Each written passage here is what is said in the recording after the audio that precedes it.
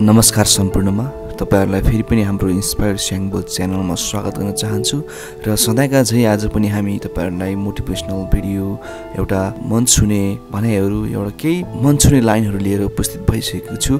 कृपया यो थोरै समय एकदम धैर्य धारण गरेर यो भिडियोलाई अन्तिमसम्म हेरेर साथ दिनु हुन म अनुरोध गर्न चाहन्छु।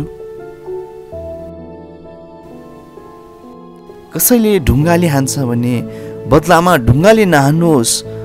हजुरले दिमागले यसरी हान्नुहोस् कि उसले कहिल्यै फेरि ढुङ्गा समाउने आँट नगरोस्। यहाँ मागेर केही पाइँदैन हजुर। फोहोरको डस्टबिनले फोहोर मलाई भनेर माग्दा समेत आफ्नो हातमा भएको फोहोर बाटोमा फाल्ने जोबानी छ।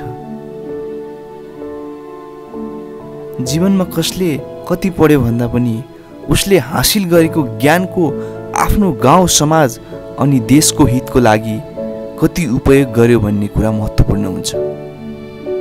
तिमी आफ्नो नजरमा सही हुनुपर्छ मान्छेले त भगवान्लाई पनि गाली गर्छ नि। सौन्दर्यको सामान प्रयोग गरेर जति नै राम्रो बन्न खोजे पनि मुस्कुराउन बिर्सनु भयो भने हजुरको सबै सुन्दरता फिक्का हुनेछन् असल मान्छेहरू खोज्नुभन्दा आफै असल बन्नुपर्छ किनकि असल मान्छेलाई सबैले खोजेको हुन्छ। एउटा मूर्ख व्यक्तिले बुद्धिमान व्यक्तिको जवाफबाट पनि केही सिक्दैन तर एउटा विद्वानले मूर्खको प्रत्येक प्रश्नबाट केही नयाँ कुरा सिकिरहेको हुन्छ।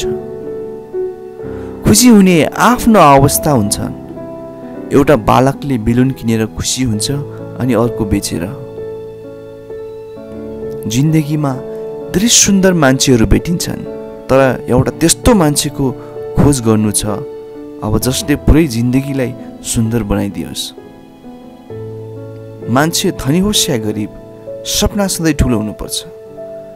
आफूभित्र देउता पनि छ राक्षस पनि छ र जीवनभरिको लडाइँ त्यही राक्षससित छ। हरेक गल्तीबाट सिक्नेहरू ज्ञानी हुँदै जान्छन्। सधैँ एउटै गल्ती दोहोऱ्याउनेहरू बेमानी हुँदै जान्छन्। यदि साथीले तपाईँको सपनालाई पत्याउँदैन भने सपना होइन साथी फेर्नुहोस्। असल शिक्षाले उत्तर होइन प्रश्न दिन्छ। उत्तरको खोजीमा मानिस दार्शनिक वैज्ञानिक असल नेता बन्छ। हामीलाई त रटाइने उत्तरहरूले बिगारेका हुन्। लगातारको असफलताबाट हार नमान्नुहोस् प्रयास गर्दै रहनुहोस् किनकि कहिलेकाहीँ जुप्पाको अन्तिम चाबीले पनि ताला खोल्न सक्छ। जीवनमा हजारजनाले ल्याउन नसकेको खुसी कहिलेकाहीँ एकजनाले लिएर आउँछ। हिँड्ने मान्छे लड्छ ऊ फेरि उठेर हिँड्छ र एक दिन कहीँ पुग्छ। तर लडिने डरले नहिँड्ने मान्छे कहिल्यै कहीँ पुग्दैन सधैँ एकै ठाउँमा हुन्छ। मैले आमा बुबालाई पालेको छु नभन्नुहोस् बरु म आमा बुबासँग बसेको छु भन्नुहोस् आमा बुबासँग बस्नु पाउनु सन्तानको सौभाग्य हो। सबैभन्दा पहिले त्यही व्यक्तिलाई खुसी राख्नु जसलाई तपाईँ दिनहुँ ऐनामा हिँड्नुहुन्छ। जुन बुहारी श्रीमानको भन्दा बढी सासु ससुराको ख्याल राख्छ उसलाई श्रीमानको माया मात्रै होइन आफन्तहरूको सम्मान पनि मिल्छ। बोल्न त्यति बेला मात्रै मजा हुन्छ जब सुन्नेहरू आवाजको प्रतीक्षामा हुन्छन्।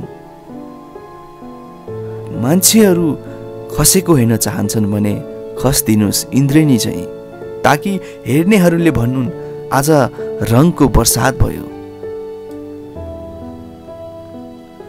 पटक पटक असफल हुँदा पनि उत्साह नगुमाउनु नै सफलता हो।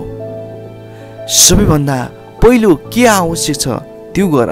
त्यसपछि के गर्न सम्भव छ त्यो गर। यसरी गर्दै जाँदा तिमीले अहिले असम्भव भनिएका कामहरू गर्न थाल्नेछौ।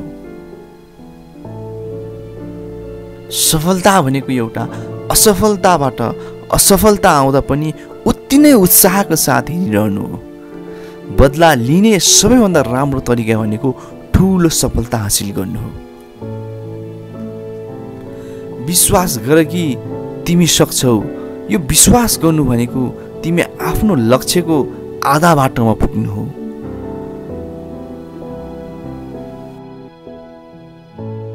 आज प्राप्त गरेका उपलब्धिहरू हिजो असम्भव लाग्थे। बाँच यसरी कि तिमी भोलि नै मर्नु छ? सिक यसरी कि तिमी सधैँ बाँचिरहनेछौ? सफल पक्कै भइन्छ। भाग्यमा होइन परिश्रममा विश्वास गर्नुहोस्। अरूमा होइन आफैमा भर पर्नुहोस्। जीवन सार्थक बनाउन पानीले मात्र होइन पसिनाले पनि नुहाउनु पर्छ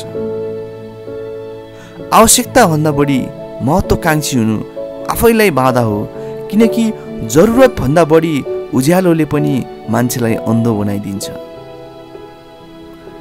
मानिसले गर्न नसक्ने काम केही छैन तर गर्नलाई मानिसलाई साहसको आवश्यकता पर्छ।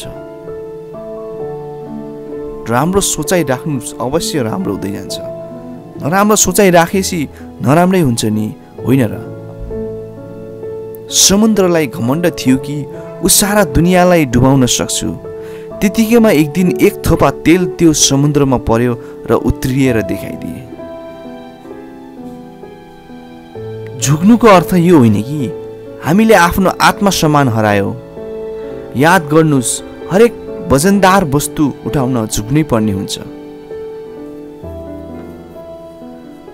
कुनै लामो दूरीको यात्रा पनि एउटा पाइलाबाट सुरु हुन्छ। जो व्यक्तिमा आफ्नो अगाडि आएको मौकालाई चिन्न सक्ने शक्ति हुँदैन उसलाई मौकाले बारम्बार ढकढाए पनि त्यसलाई ऊ हल्ला सम्झन्छ। याद राख कि कहिलेकाहीँ आफूले चाहेको कुरा नपाउनु पनि ठुलो भाग्य रूपमा बदलिन्छ।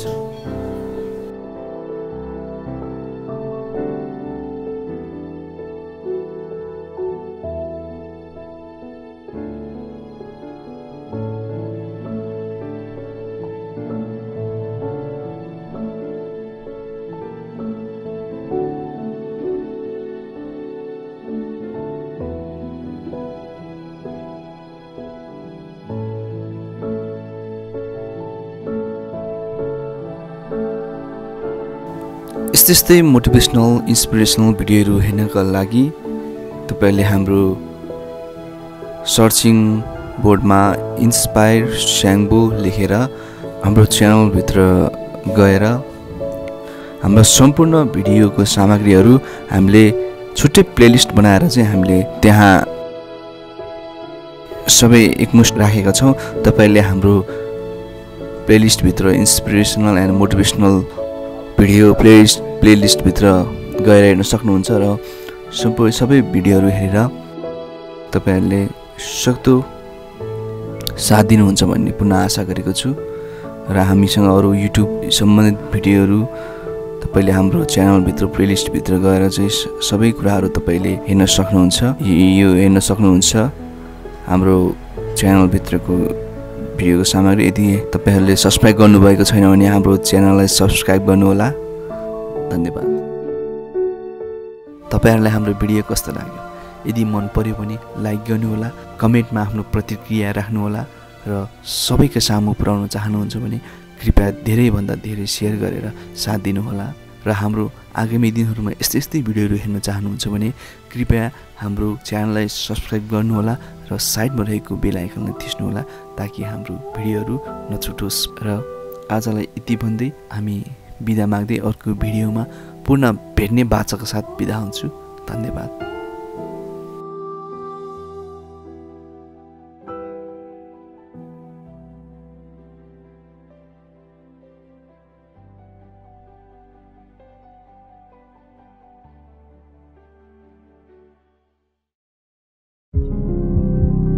You are new in this channel, please subscribe our channel and don't forget to click on bell icon.